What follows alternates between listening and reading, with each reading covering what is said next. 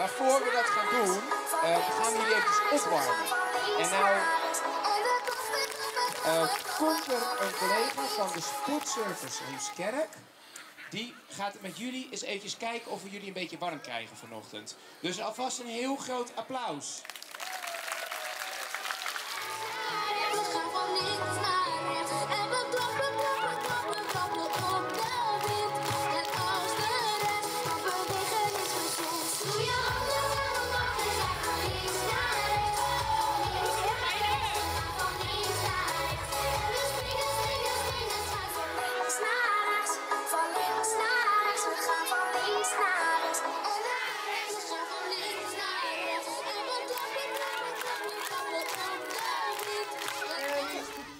Wat geweldig! Jullie nieuwe buitenruimte bij de peuteropvang. Ik ben Carla, ik ben de baas van Tabijn. En uh, Tabijn vindt buitenruimtes, groene buitenruimtes, heel erg belangrijk. Want wat kunnen jullie hier doen straks? Jullie kunnen lekker spelen. Jullie kunnen leren van de dingen die daar zijn, ontdekken, elkaar ontmoeten. En dat zijn allemaal dingen die we heel erg belangrijk vinden. Want Tabijn vindt groene buitenruimtes, aantrekkelijke buitenruimtes waar jullie lekker kunnen spelen, superbelangrijk. Heel blij dat we uitgenodigd zijn.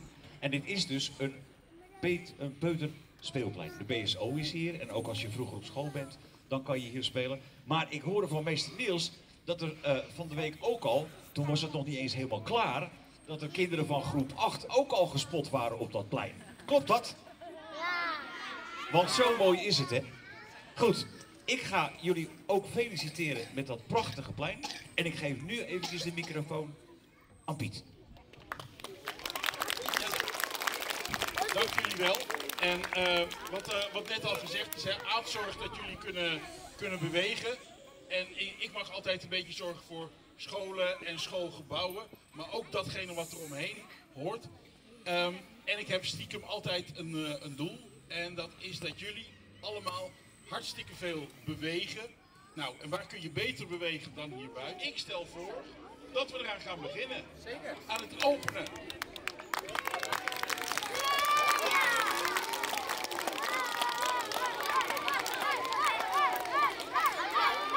Nou, nou dacht ik, hè, jullie zien al uh, een aantal van onze peuters staan. Uh, nou dacht ik, het is misschien wel leuk om met elkaar even af te tellen van 10 naar 0. En dan gaan we dan kijken of we de strik eruit krijgen. Ja? Dus even kijken of we dat kunnen met z'n allen. Ja! Nee. Oké, okay. zijn we er klaar voor?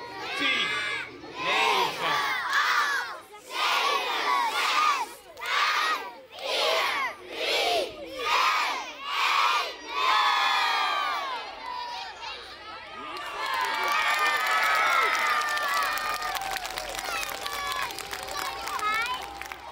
Het kindcentrum De Bareel heeft vandaag de nieuwe peuterspeelplaats geopend.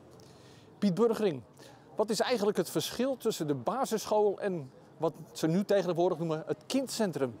Een kindcentrum, het, leuke van een kindcentrum is, daar zit ook een school in, maar het is breder. Het is ook de voorschoolse opvang, het is de, uh, de naschoolse opvang, maar het is ook voor peuters. Dus voor kinderen die nog te klein zijn om naar de basisschool uh, te gaan.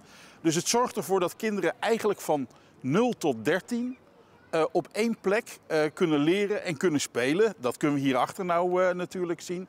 En dat ze dus, dat heet dan heel mooi, een doorgaande leerlijn hebben. Maar het is er vooral omdat ze lekker op dezelfde plek altijd kunnen zijn. Met wie heeft de gemeente samengewerkt om deze peuterspeelplaats eigenlijk te creëren? Nou, uiteraard samen met Tabijn, hè, de, de, de, de school en de Bareel. En met uh, De Ranken, dat is een stichting die hier ook extra geld aan heeft gegeven. Aad Schorel, waarom is eigenlijk bewegen voor kinderen eigenlijk zo goed? Ja, het, het is iets wat we eigenlijk wel weten.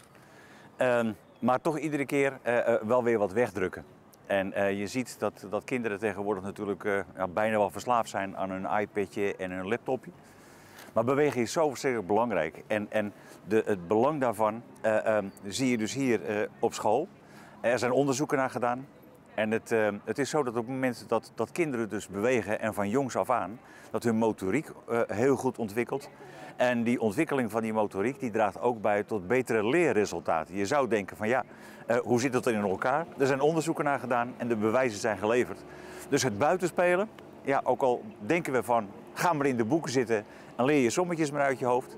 Het buitenspelen, samen natuurlijk met het leren, geeft zoveel mooie resultaten. Dus buitenspelen en spelen is echt van eminent belang. Het eh, creëren van die eh, peuterspeelplaats, was het een ingrijpende klus? Ja, dat is, dat is behoorlijk ingrijpend. Eh, het is ook wel een vrij kostbare klus, ook om een dergelijke speelplaats natuurlijk te onderhouden. Maar het, het biedt zo- kinderen zoveel meer mogelijkheden tot ontdekken. We zijn natuurlijk gewend, daar waar er speelplaatsen zijn, de ouderwetse glijbaan en de, de wipkip en dat soort zaken. Is ook leuk, maar dit, dit is veel uitdagender voor kinderen. Is er nog rekening mee gehouden met het eh, duurzaamheid en het toekomstbestendig? eh, Ja, dat, ja dat, daarom is het zo ingericht zoals het is ingericht.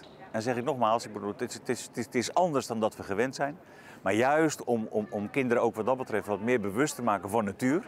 Daarom is het ook eigenlijk een natuur, een groene speelplaats. Ja, is dit ook een belangrijk verhaal. Kalle Smits van Tabijn. Wat zijn bij eh, het kindcentrum De Bareel de belangrijkste aandachtspunten? Nou, ik ben als bestuurder van Terwijn heel erg trots dat de Bareel zoveel aandacht heeft voor de buitenruimtes. Waar kinderen lekker kunnen spelen.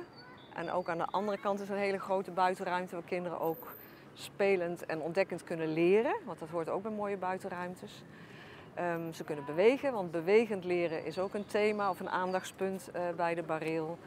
En eh, muziek. Muziek staat hier als een huis, durf ik wel te zeggen. Er is een muzieklokaal waar ook eh, samengewerkt wordt met Cultuurhuis Heemskerk. Dat zijn de pluskwaliteiten. En daarnaast wordt er natuurlijk ook heel goed gewerkt aan de basisvaardigheden. Want daar gaat het ook om bij het onderwijs.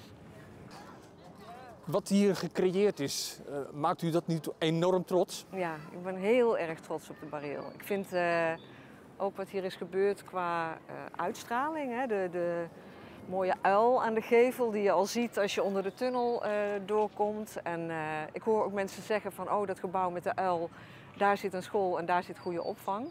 En ik vind dat de dingen die ze hier doen als team, dat doen ze ontzettend goed. Dus eh, heel veel trots over en op de Bareel. Ja. Nou is hier een, een heel mooi peuterspeelplaats gecreëerd. Maakt u nog andere dingen mee in uw bestaan als, als voorzitter van de Ja, ja zeker. Ik, ehm, wij hebben heel erg geïnvesteerd ook in eh, groene buitenruimtes. Hè, als een van de speerpunten uit het vorige koersplan. Maar wat ik zie aan buitenruimtes bij eh, heel veel scholen, dat is toch ook wel soms verdrietig dat het nog grijze betonnen platen zijn. Ik zie wel in toenemende mate dat ook gemeentes daarin bijdragen en hier dat ook een aantal stichtingen hebben bijgedragen. Want daar ben je wel afhankelijk van, want het zijn fikse investeringen. Dus eh, ja, ik woon zelf in Amsterdam en vlak bij mij in de buurt, daar is een, een school met een peuteropvang, buitenruimte. Daar word je heel verdrietig van. Maar ik denk, wat ze hier nu neer hebben gezet, nou, daar wil iedereen spelen. Zou ik ook wel willen spelen. Oké, dank u wel. Oké, graag gedaan.